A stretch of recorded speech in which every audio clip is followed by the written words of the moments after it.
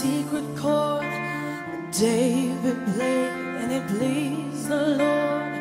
But you don't really care for music, do ya? It goes like this the fourth, the fifth, the minor four, and the major lift.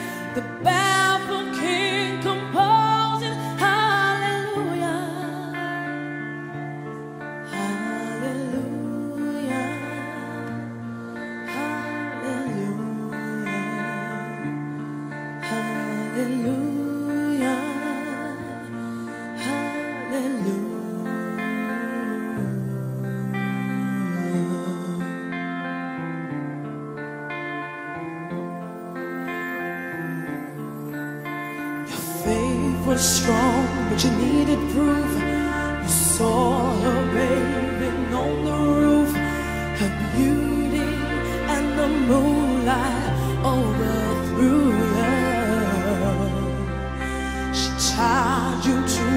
her kitchen chair. She broke